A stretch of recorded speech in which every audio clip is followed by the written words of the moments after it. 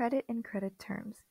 Credit is something granted by a company which allows customers to pay days, months, or weeks after they have already received a good, service, or invoice. This basic this can be expressed through credit term. Credit term is simply how this is expressed.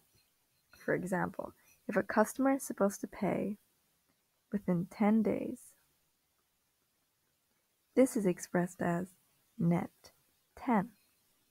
Or if a customer is supposed to pay within 10 days to obtain a 2% discount,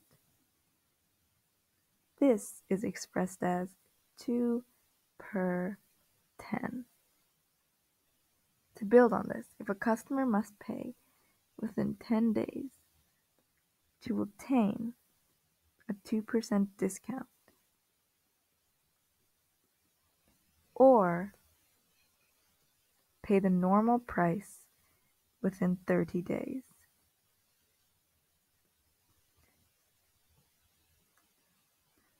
This 10 days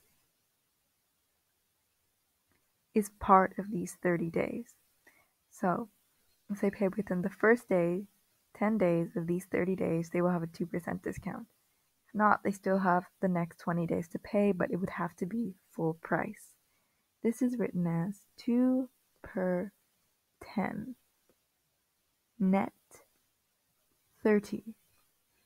We can see how these connect and build on each other. Let's try some examples. Um, net 30, we already know what this is. They must pay within 30 days. Net EOM 10 EOM stands for end of month. This basically means that they must pay within 10 days of month end. So, say they get the notice on June 10th. This means that they have to pay they only have until June 20th to pay. One tenth net 30. This means 1% discount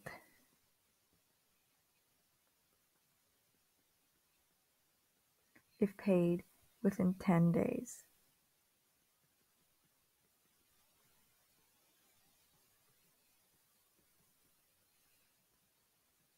Or full in 30. We've already seen a problem like this. One tenth net 60. This basically means the same thing. 1% discount within 10 days.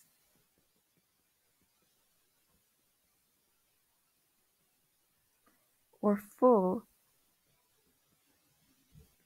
in 60.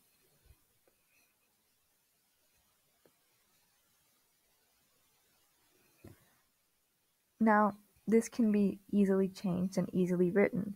You could say, right, 3, 15, net, 50. This is 3% discount within the first 15 days, or full in 650.